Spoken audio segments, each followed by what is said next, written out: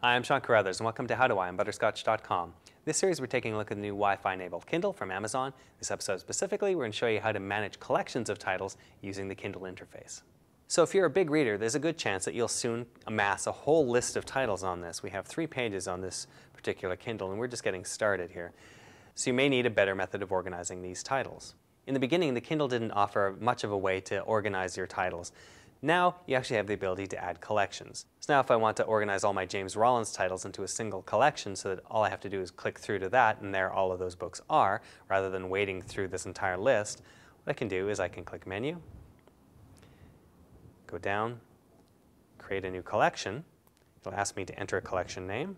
I'll type R-O-L-L-I-N-S. Go down and click Save and it'll create a collection called Rollins. Now at the moment it has a zero beside it because there's nothing in it. So to add titles to it, we'll actually click through to it. We'll see there's no items. The first time you create a collection, it'll list no items, but click to add items to this collection. So we're going to click through there. Go down until we find items that we want to put into this collection, and you'll want to highlight it with this little bar below the item in question. Then you'll click it, and it'll add it to the collection in question. So we're going to add a couple here and then go back to the home screen. And you'll notice we now have two items listed in that. And it takes those particular items out of the list here. So if we want to add more to it, we can want to add this one, for example, black order. We'll go back up to the top.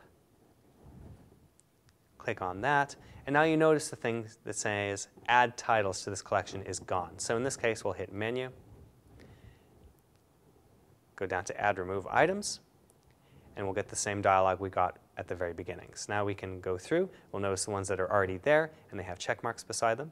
We're going to continue down until we find the other ones that we want to add and add them all.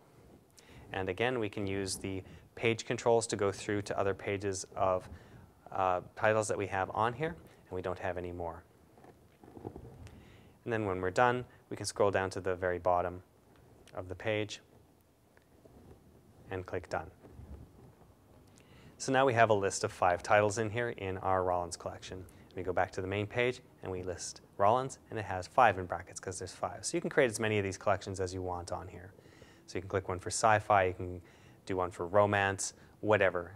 You can make as many collections as you like. Now if you're in your list, you want to remove one of these items, say you don't want to read it anymore, you can go to Add Remove Items, go down to the item in question, and now you'll notice instead it says remove from this collection. So I'll take it out by clicking on it again, and it'll remove it.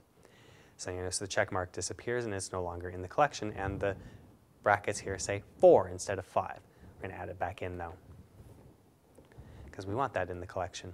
So if we added one by mistake, for example, Street Gang, which is about Sesame Street and is not a thriller at all, and now it's in the collection, we want to remove it, we'll actually click it again and take it out. So if we're back on the home screen, again, we can collect, click through to the collection in question. And we have a few other things we can adjust about this as well. So we're going to hit Menu. We can actually go down and rename it. So if we want to call it something else like Thriller, say for example we want to put other titles in here besides our James Rollins titles, then we can change it to Thriller.